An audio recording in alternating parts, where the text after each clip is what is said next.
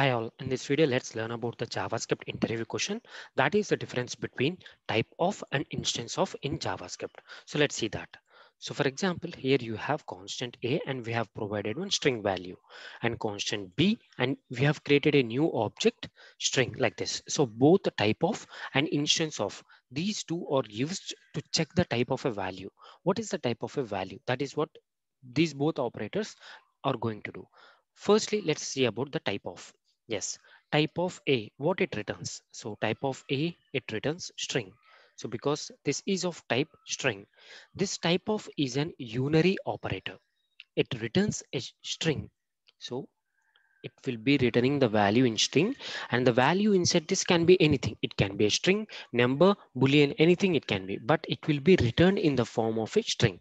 Remember that. And also it can return a string number or a boolean object. So these are the values for this type of. This is a unary operator. It means only one operand is enough to evaluate the result. So now let's check the type of B. So type of B. Now what it gives, the type of B is object now because this will not give, this will not return as a string. As you used new, it means you're creating a new object, string object. So that's the reason the type of B becomes object here. So this is about type of. So coming to the instance of, so the same example, let's see for the instance of. So let's see the instance of. So when you, you're using instance of, instance of is a binary operator. It means let's write the syntax for the instance of. So it will be like object instance of constructor. So this is the syntax of the instance of. This is how you need to give the instance of. So this returns true the instance of what it does, it will not give what the type. So it will just say whether it is true or not. So let's say instance of A is string. So in our case, is it true or false? It will only return whether it is true or it is false. That's it. So now A instance of string. So string is a constructor function here okay. Now a is an object and a object is instance of the constructor function. No right? This is a normal string. So that's the reason it returns false. So when you are using instance of this is a binary operator. It means it needs two things. To evaluate to a value it needs two things. Whereas type of is a unary operator. It returns any of the values within this double quotes string as a string. But type instance of will return true or false. Now, if you take this same example with B instance of string, yes, it returns true. The reason behind this is, yes, B is created with this string constructor function. So that's the reason it returns true. So the same things, the values are different here. So this, these are the, this is a primary difference between the type of and instance of. So mostly the instance of will not be work. So let me write this point instance of does not work for the it will not work for the primitive types. So primitive types means so number, boolean, and uh, string. So these are the primitive types. Most of the cases don't use instance of for the primitive types. So what if if you want to check whether a given value is a string, a plain string primitive, or it's a string object. So for that you can write your own function and you need to check the both the things. So let me show you that. Constant is string. So I'm writing a function. So where I want to check whether the given string is a primitive or an object. So for that, what I'm doing, I'm returning the type of string, the type of string, if it is equal to string. So then that is a primitive string. If not, or I'm saying this and I'm telling this string instance of instance of string constructor function. So this is how you can declare. So now what we are doing, we are checking whether the given string is primitive type or it is a object type. So both you are checking in a single function. So you can use this is string and you can verify both whether it is a primitive string or it is a string created with the string object. So let, how to check this? So let me write this is string.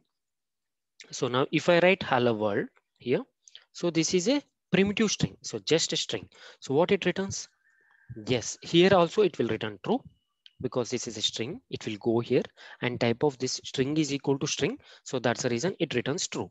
So the same is string. So I can create a new object, new string constructor object. And here also if I give hello world, So now what it happens? So it will also return true. So this is what happening. So you are using a same function is string and you are passing a primitive type also you are getting the answer. And if you're passing a constructor function also you are getting the answer. So if you want to check both the primitive type and the object constructor function or not then you can use something called like this okay? And we can learn few more things with the type of and instance of. So for example there, there is also one more interview question like they will be giving like type of type of 10 like this. So what is the output here? So first thing is like whenever you get some questions like this type of 10 what it returns? It returns number but number within this string. So this is what it is evaluated. The first part this is will be evaluated into a number but that will number will be in a string. So that's the reason. Again if the type of number it means this is in string now. So what you will be getting here? You will be getting an object as a result. So for this the answer is object. So we need to understand that so this is the one thing. This is also an internally, if you know more about the type of, so what is type of returning you back? It is returning a string and it is keeping the type of the operand inside this string. That is what this type of operator is doing. Fine. So let's learn one more point here. Let date equal to new date. Now let's see one more point related to the instance of. So if I say date instance of if you say date instance of date okay now is it true or false? Yes it is true because date is an instance this is an object and this is created with the help of the date constructor function. So it returns true fine. So let me check the same thing date instance of object. So here this one also returns the true. What is this object? So in javascript whatever you have. So that is all the primitive types. So let me write a point here. So all non-primitive all non-primitive objects or instance of objects. So in javascript we will be having an object. This is a parent object. All the other non-primitive objects. So now i'm also mentioning this as a non-primitive object.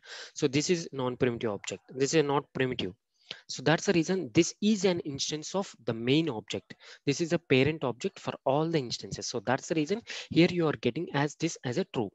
So that is the reason not only this date, whatever the object, you can also give the string also here that will also return back true. For example, if I say B instance of object, yes, this one also returns true because B is a non-primitive object and object is a parent for all the other objects. So that's the reason here also you'll be getting it as a true. So the main differences are this is a unary operator, this is a binary operator. And here you will be getting the output in terms of string and you will be getting any like string number, uh, boolean, all the types you will be getting here. But with the instance of it would be written you false or true. And now you can check whether it is a primitive or not primitive. Then you can go with this. Okay. And uh, this is what we know. And uh, so whenever you want to check a primitive types, okay plain primitive types then go with the type of. So if you want to check any of the instance objects related things go with the instance of. So this is the differences between the type of an instance of and when to use what. And majorly we use this type of an instance of to check whether the value what is the type of the value we have. So hope you understand the video. Thanks for watching. Please subscribe for more videos